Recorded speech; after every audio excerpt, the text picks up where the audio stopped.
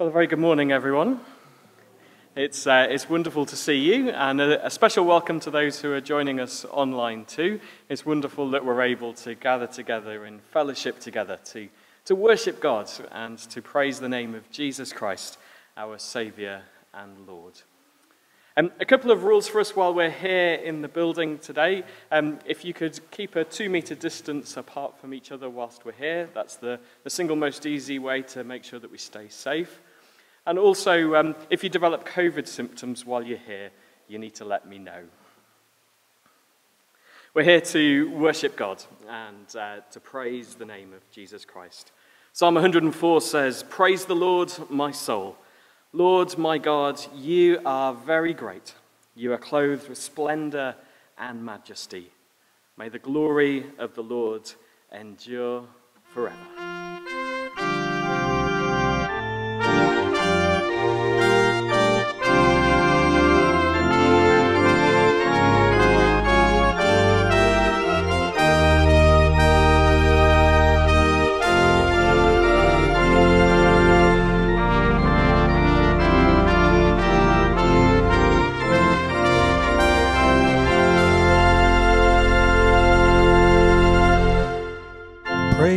The Lord, the Almighty, the King of creation.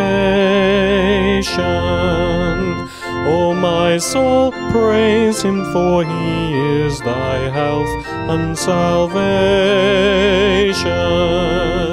Come ye who hear, brothers and sisters, draw near praise him in glad adoration.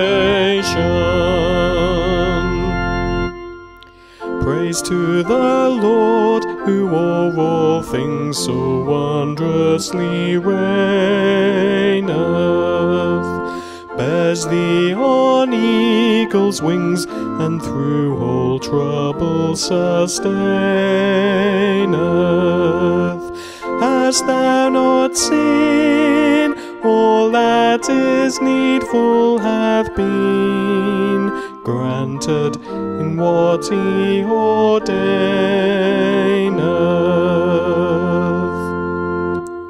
Praise to the Lord who doth prosper thy work and defend thee. Surely his goodness and mercy here daily attend thee. Ponder anew Almighty can do, who with his love doth befriend thee.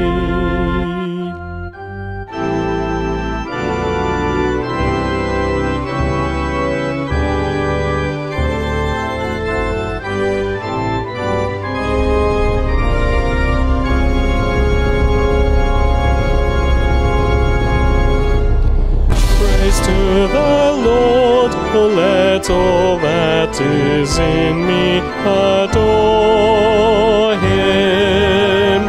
All that hath life and breath, come now with praises before him. Let the Amen send from his people again. Gladly for we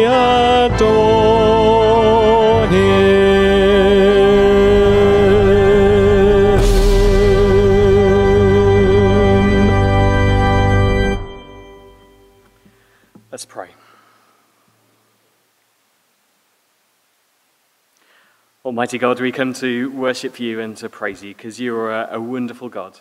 It is a, a joy and delight to know you and your presence with us. We bow down in adoration. You are clothed with splendor and majesty. We open our hearts to you and we give you our thanks and praise for the way in which you have sustained us, the way in which you have led and guided us, shared with us your love and your truth, your wisdom and grace in these last days.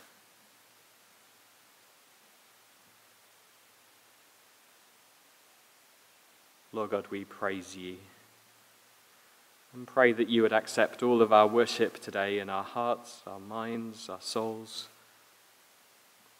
We thank you for the wonderful gift of your Son, Jesus Christ who welcomes us, who forgives us,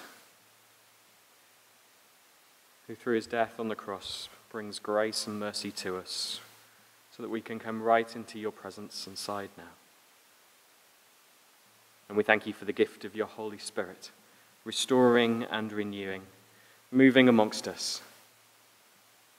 And Holy Spirit, we pray that you would speak into our hearts and lives this day as we look at the Word, your truth.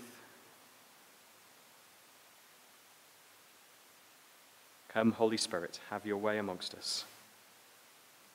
We ask it in Jesus' name. Amen.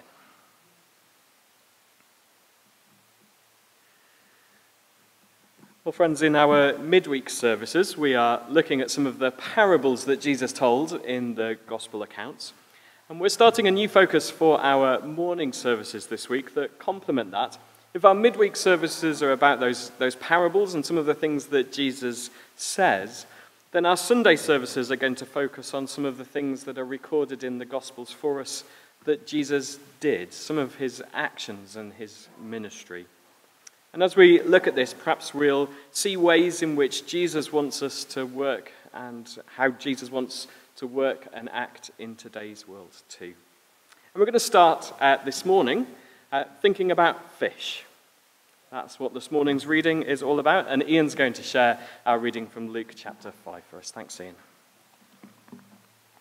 One day, as Jesus was standing by Lake Gennesaret, the people were crowding round him and listening to the word of God.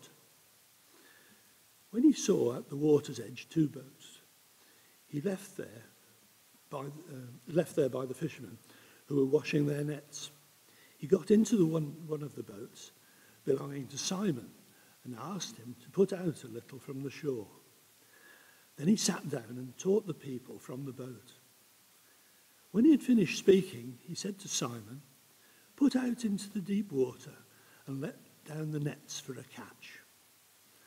Simon answered, Master, we've worked hard all night and haven't caught anything. But because you say so, I will let down the nets. When they had done so, they caught such a large number of fish that the nets began to break. So they signaled to their partners in the other boat to come and help them. They came and filled both boats so full that they began to sink. When Simon Peter saw this, he fell at Jesus' knees and said, Go away from me, Lord. I'm a sinful man. For he and all his companions were astonished at the catch of fish that they had taken. And so were James and John, the sons of Zebedee, Simon's partners. Then Jesus said to Simon, don't be afraid. From now on, you'll fish for people. So they pulled up their boats on the shore and left everything and followed him. Amen. Amen. Thank you very much, Ian. Who would, uh, who would try running a business these days, eh? It was a question that Simon had asked himself often recently. It was a pretty tough time. The Roman tax system was crippling everyone. No one had any money to buy his fish, certainly not at the price it was worth. No one wanted to pay the going rate, but um, occasionally people would offer him some mouldy, stale bread for some of the fish that he would have normal, normally thrown out. Simon worked hard and scraped by. Everyone was in the same boat. At least he could always feed his family, of course. But then a few weeks ago, Simon had noticed a bit of a change. His, his nightly catch, catches were a little less, and the fish he did catch, well, they were a bit smaller, really. Something had happened in the lake. It had been the talk of the town. That and Jesus. He was a good man. Simon had seen it himself healed his own mother in law so that she could add her complaints to how the fish weren't what they used to be. Not that Simon could do anything about it. All he could do was keep fishing. Night after night, he would head out in the boat, hoping, praying, longing that it would be different this time. If he was honest, he was, he was down. He was quite depressed. And fishing was tough work when you caught very little, the nets having to be thrown out and then hauled back. With few fish, the nets would often get caught, they'd snag and need mending once they were free. Every half an hour or so, the nets were cast out, and then you'd wait, then haul them back in again, and start again. As he sat in his boat this night, it was, as always, eerily quiet and pitch black. So far, he had caught nothing, not a single goldfish to take home. He'd spent two hours untangling the net when it had got caught on something, and he tried everywhere on the lake and everything. All the tricks in the book, everything his father had taught him, he tried. Everything. He'd never known anything like it. The hours passed. Simon was either hauling nets or sat waiting in the oppressive silence and darkness, wondering what on earth he was going to do. He found nights like this worse than sleepless ones, really. After what had seemed like an endless night, the first speck of greyness appeared on the horizon. Time usually for two more nets. Come on, surely there must be something in this lake. The grey got brighter and grew into a bright, fiery orange, beginning to fill the sky. If there were any fish left in this lake, they'd be scurrying off to bed now. Nothing.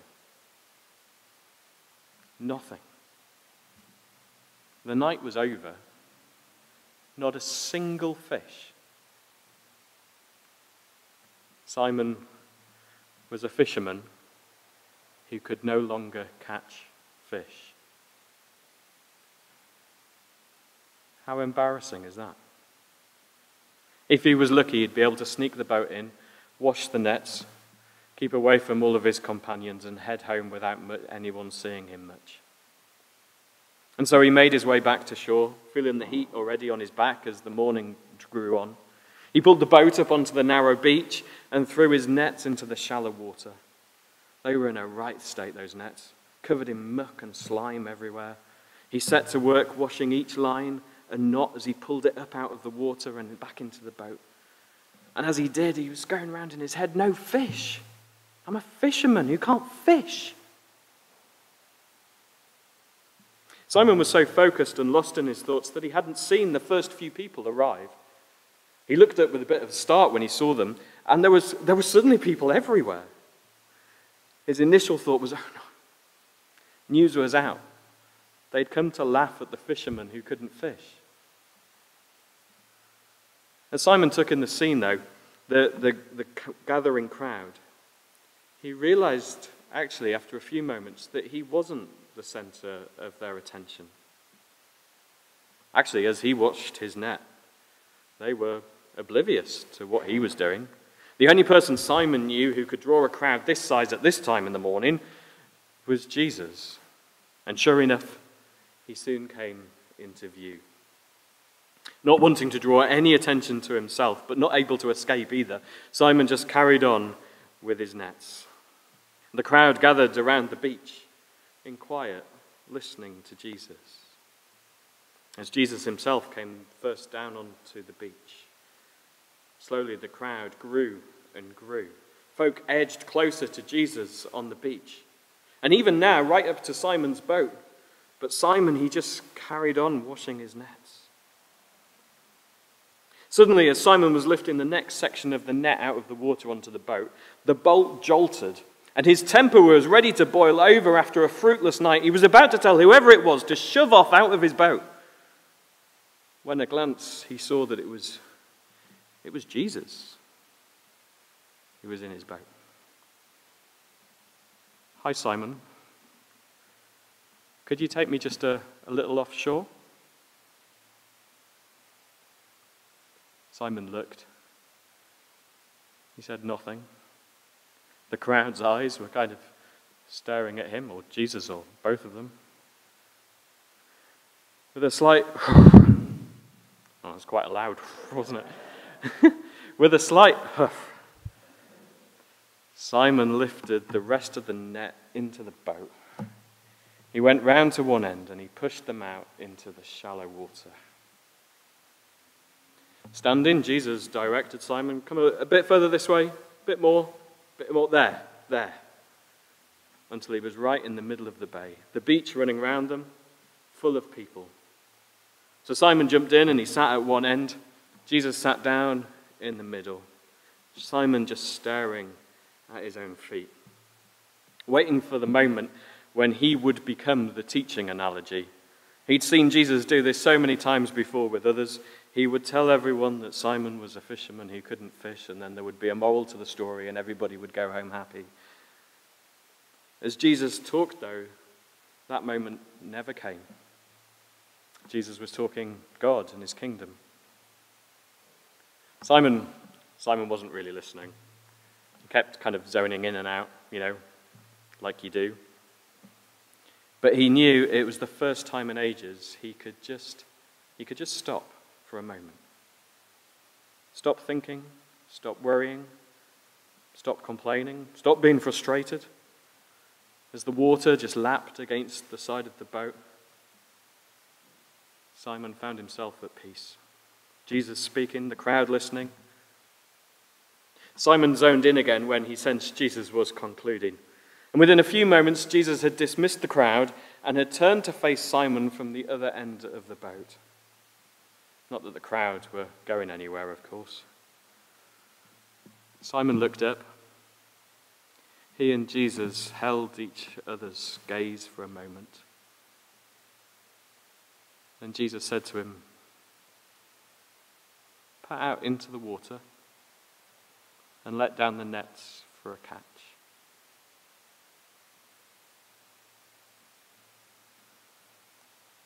Simon, for a moment, just stared back. He began fighting back the tears in his eyes. Master, we've worked hard all night and haven't caught anything. He'd admitted it. And he kept looking at Jesus, who just gave him that look that said, I know, and I mean it. It'll be okay. Simon looked him straight in the eye and continued, somehow finding himself saying, But because you say so. I'll let down the nets.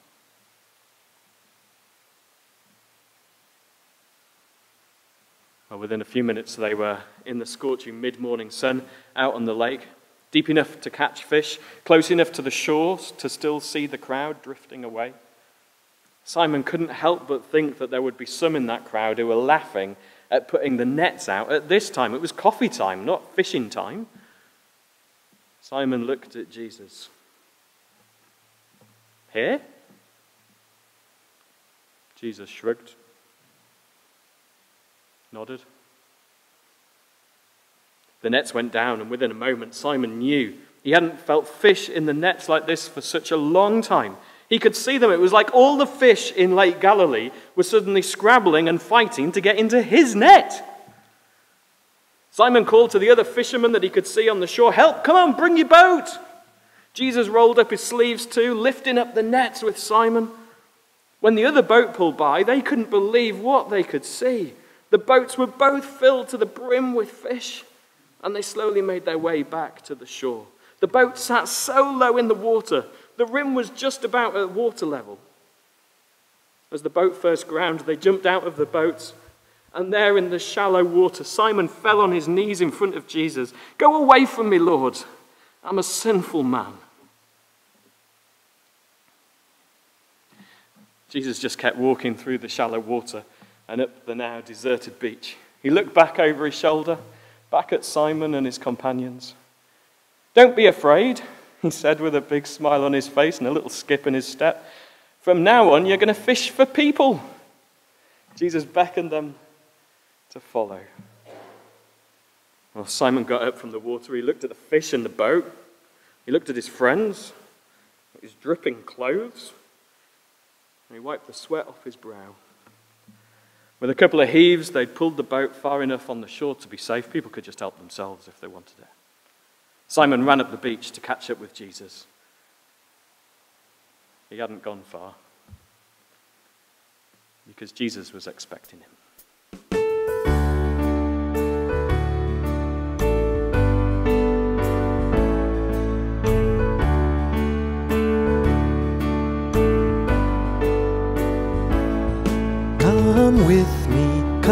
Wander, come welcome the world where strangers might smile or where stones might be hurled.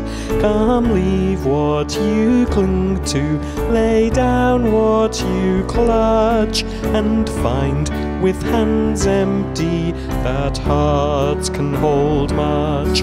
Sing hey for the carpenter leaving his tools. Sing hey for the Pharisees leaving their rules. Sing hey for the fishermen leaving their nets. Sing hey for the people who leave their regrets.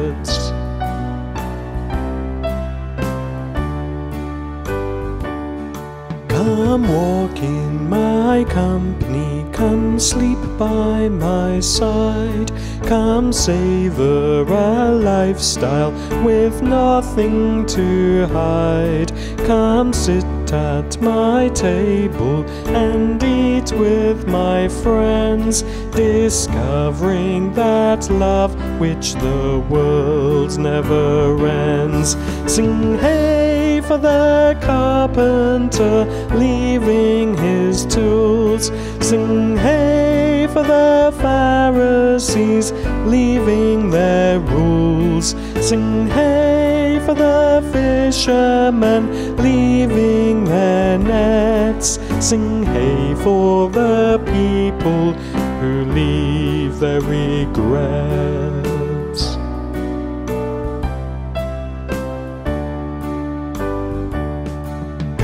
Share in my laughter, come close to my fears. Come find yourself washed with the kiss of my tears. Come stand close at hand while I suffer and die, and find in three days how I never will lie. Sing hey for the carpenter Sing hey for the Pharisees leaving their rules. Sing hey for the fishermen leaving their nets. Sing hey for the people who leave their regrets.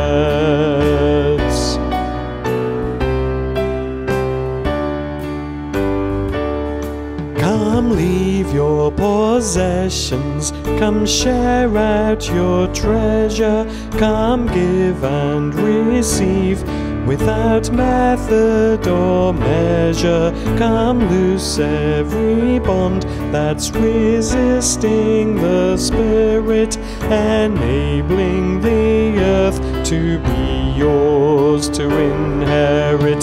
Sing hey for the carpenter leaving his tools. Sing hey for the Pharisees leaving their rules. Sing hey for the fishermen leaving their nets. Sing hey for the people who leave their regrets.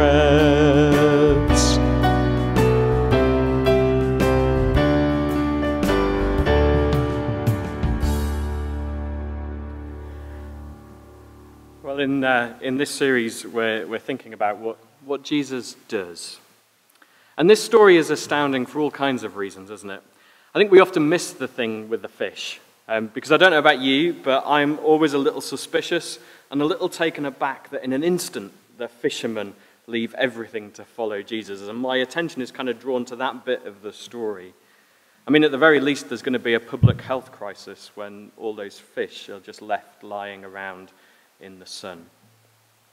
So, if this were to happen today, what would, what would this be like? If Jesus were to do this today? Well, I, I wonder whether you can join me on another story. Think about, think about Katie. Katie is a nurse. She has no idea what's been going on these last couple of years. She's absolutely exhausted. She's running on empty and has dealt with things she never expected to have had to cope with. And this week she's, she's on nights, and they're really quite long nights.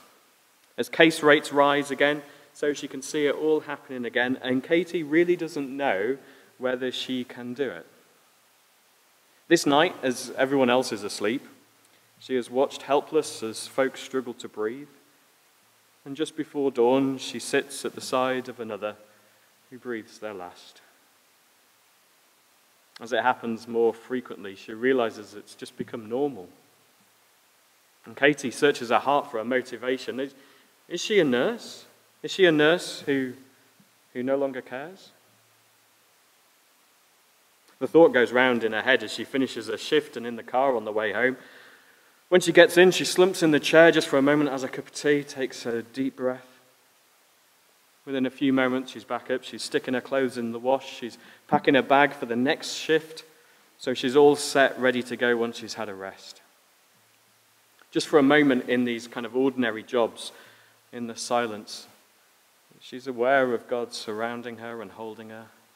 She has a moment of quiet just in the house, not saying, thinking, or doing anything really, just knowing that Christ is with her. A moment with no anxiety or worry. Suddenly, her mobile phone rings. Uh, Katie answers it. It's her boss. Katie, we're so short staffed. I wouldn't normally ask, but is there, is there any chance you could come back and do another six hours for us? Katie hears herself saying down the phone, I've worked hard all night. I'm exhausted after that shift. She pauses and remembers the sense of Christ with her. And in prayer to Him, she says down the phone, But because you say so, I'll get my stuff together. I'll see you in half an hour. Katie sets off back to the hospital. This is not what I had in mind, Jesus. This is not what I had in mind. Katie changes and heads back onto the ward. But suddenly the place, the place feels different. It is different. As she heads around the ward, well, there's the sound of laughter. Patients are smiling. Breathing apparatus is now just hung up idle. The people she saw struggling just a few hours ago are sat up reading the paper, watching the telly, and having their breakfast. The doctor does their round. They're astonished. They call more doctors to come and look. They look at each person in turn, and every one of them is well, is strengthened, is restored, they're healed. They can all go home. Every one of them. Katie doesn't know what is happening or what to do. There aren't enough registrars to do the paperwork. She knows that for sure. Slowly, though, the wards are empty as folk go home, and news is that it's the same on every single ward in the hospital. Within three hours, the entire hospital is empty. Not a single patient. There's no illness anywhere. Katie drops to her knees. Go away from me, Lord. I'm sinful. As she knelt there on her knees in the middle of an empty hospital ward, Jesus says to her, Don't be afraid. From now on, you'll heal the world. Jesus and uh, Katie undid her PPE apron. She threw it in the bin, headed out the door running after Jesus. He hadn't gone far. He was expecting her.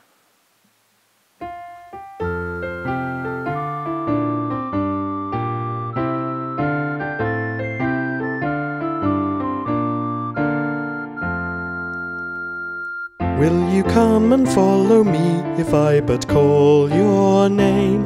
Will you go where you don't know, never be the same? Will you let my love be shown? Will you let my name be known? Will you let my life be grown in you and you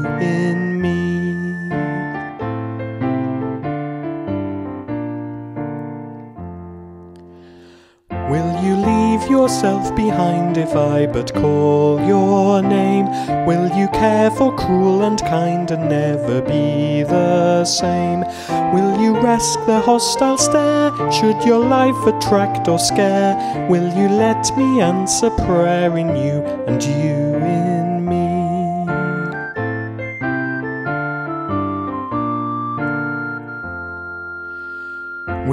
Love the you you hide if I but call your name?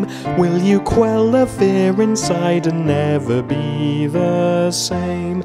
Will you use the faith you found to reshape the world around through my sight and touch and sound in you and you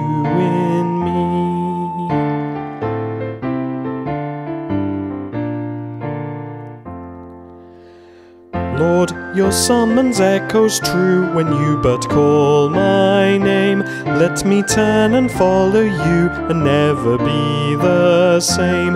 In your company I'll go, where your love and footsteps show. Thus I'll move and live and grow in you and you in me.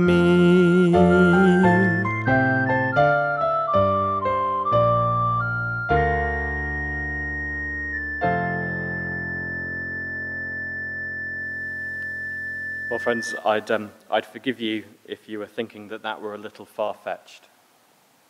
Hospitals don't empty in the space of three hours because everyone is healed, and definitely not during a pandemic. And yes, for the avoidance of doubt, Katie's story was completely made up. You can't sell the story to the paper, it just won't work. But isn't the ridiculousness of it actually part of the point? Because miracles are far fetched, aren't they? In fact, by definition, miracles are far fetched. That's what they are. That's the whole point. And miracles are just what Jesus does. I reckon actually that the miraculous catch of fish for Simon that morning would have been on the same scale of ridiculousness as my story about Katie. And yet, Simon's story actually happened. Simon really did walk away from all those fish. And I think Jesus really does want to do things like that round here today, far fetched or not. Don't you want to see Jesus actually do incredible things today and now? I mean, not just read about them or learn about them or even see something good that happens in the world and claim that that's Jesus, but Him actually do stuff. I'm interested and longing and waiting and hoping and praying that the Lord Jesus would do some of the, the far fetched, ridiculously wonderful, life changing miracles round here in our lives, in our town and our community this summer, in the next few weeks. I want to see Jesus break into this world with his power and his love. I've been really struck as I've grappled with this passage this week in how Simon responded to Jesus. You might have noticed it in the way that I picked things out of the stories. When Jesus asked him after a fishless night to head back out and lower the nets, Simon said, Master, we've worked hard all night and haven't caught anything. But because you say so, I will let down the nets. In that little sentence, Simon acknowledges that something is different when Jesus says. Because he's not actually going to go and do anything different to what he's already been doing all night, is he? He's going to do exactly the same thing. The only difference is now Jesus has said. Simon could, of course, at this point have said all kinds of other things in response. Master, we've worked hard all night. I've just cleaned my nets. I'm not going back out there again now. I'm going tomorrow. And if you want to come with me, that's great. I'll be here at 10 o'clock tonight. Oh, Master, we've worked hard all night and not caught anything. We definitely won't catch anything now it's daytime and the crowd have made this racket. Jesus, how's the carpentry going? Shouldn't you stick to that? Master, we've worked hard all night. But do you know what? I'm done with fishing. Can't you see I'm a fisherman who can no longer fish? Here, feel free, take the boat. Go and fish yourself, but I'm not going. Not that we would ever say similar to Jesus, would we? But Simon's statement, I just wonder. We've worked hard all night and caught nothing. It sounds to me as if it were the start of an excuse, but it turns into an acknowledgement that working hard, wanting it to happen, longing, exhausting yourself, well, at least we tried. Simon realizes doing it alone will only get you so far. But since you say so, Jesus, we'll go again, back into the water, letting the nets down. It'll be different if you say, Jesus. So, friends, what is Jesus saying to you today and now? As we sit a little while in this boat, just a little way out. Crowd all think that Jesus needs the boat as a pulpit. Yet you and I, we both know we need this moment just with Jesus. Jesus, take us to one side now, out from the crowds, the doubts, the fears, the anxieties, and the worries just your presence. Let us assess where we are. We've worked hard all night. We've worked hard all of our lives. There's been good days and bad, successes and failures along the way. What's it all for? Where do we go from here? What am I here for?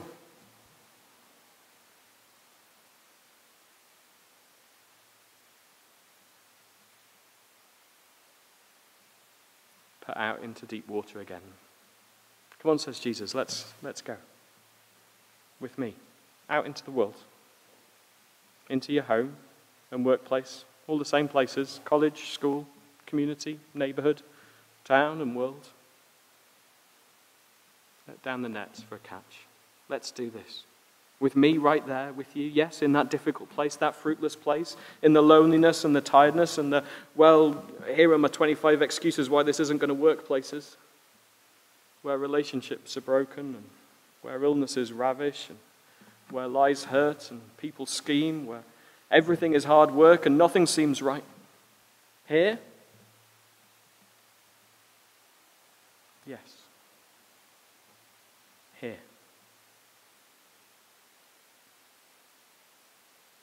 Master, we've worked so hard at that. But because you say so, Jesus, I'll let down the nets.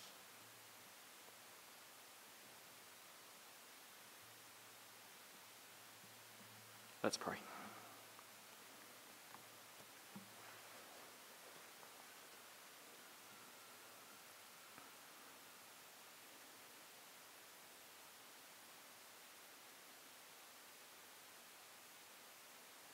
Lord Jesus, we thank you for your presence with us now, the way you have brought us to this moment and this time to hear from your word and to hear you speaking into our lives.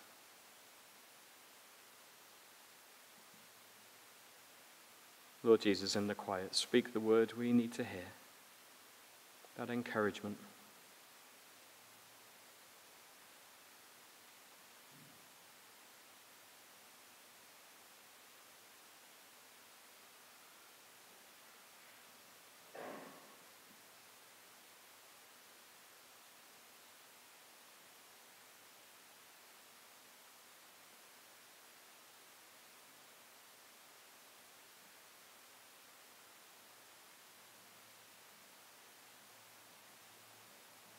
Lord Jesus. So, even though there's so much more going on in the world, the crowds are gathering, there's people listening, ignoring, and sharing with you, we thank you that in this moment, we're the center of your attention.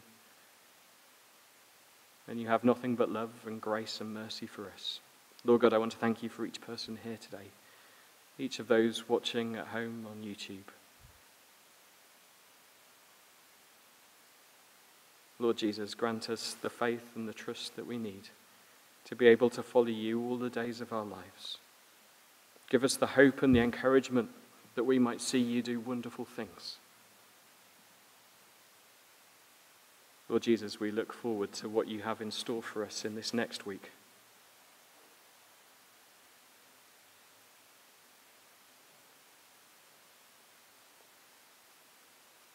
And so, Lord Jesus, as we go from here in a few moments, may we know that we go with your presence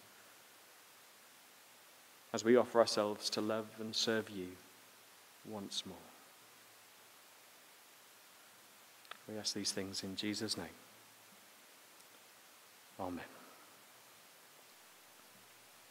Amen.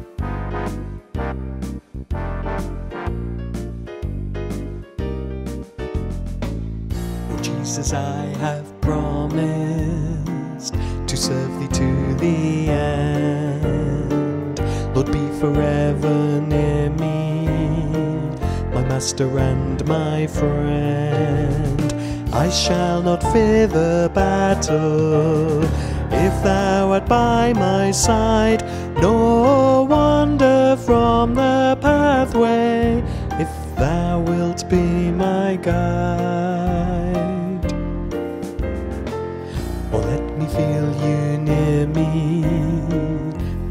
Is ever near. I see the sights that dazzle, the tempting sounds I hear. My foes are ever near me, around me and within. But Jesus, now draw nearer and shield my soul from sin. Speaking in accents clear and still above the storms of passion, the murmurs of self will, or speak to reassure me, to hasten or control. Lord, speak and make me listen, O guardian of my soul. Jesus, you have promised to all who follow you that where you are in glory, your servant shall be too. And Jesus, I have promised to serve you to the end. Oh, give me grace to follow my master and my friend. Oh, give me grace to follow my master and my friend.